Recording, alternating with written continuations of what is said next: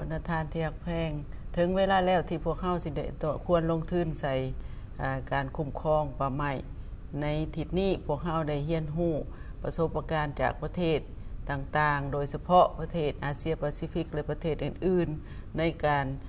สนับสนุนการเงินจากสาธารณะและในเอกชนเพื่อปกปักรักษาป่าไม้และลดพรผลกระทบจากการเปลี่ยนแปลงดินภาคอากาศ ขอเฮียนเซิร์นบรรทานเซิญส้มวิดีโอ